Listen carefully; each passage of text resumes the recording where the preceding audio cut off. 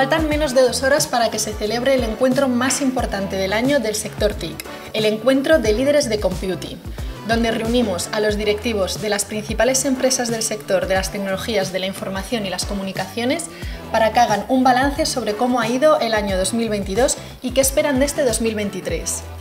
Mis compañeros ya estarán allí preparándolo todo. ¿Me acompañáis a ver si está todo a punto?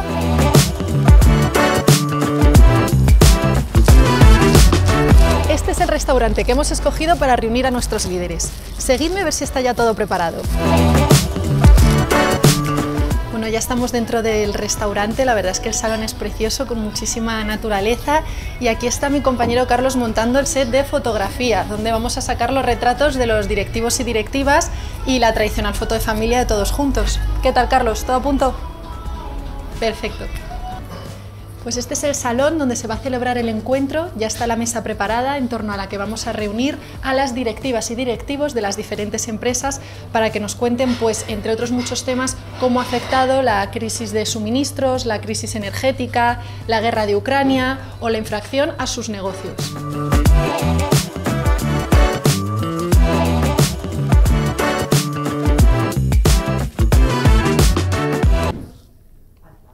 Bueno, me preparo ya con mi ordenador, que quedan unos minutos para que empiece el encuentro.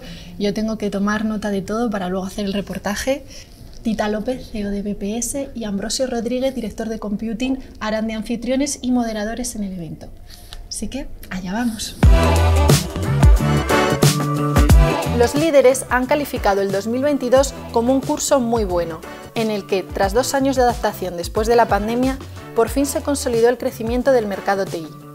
La guerra de Ucrania, la crisis de suministros o la inflación no parecen haber afectado al negocio y, aunque los directivos están preparados para una época de recesión, se han mostrado optimistas bajo la premisa de que la tecnología siempre actúa como un facilitador en épocas de crisis.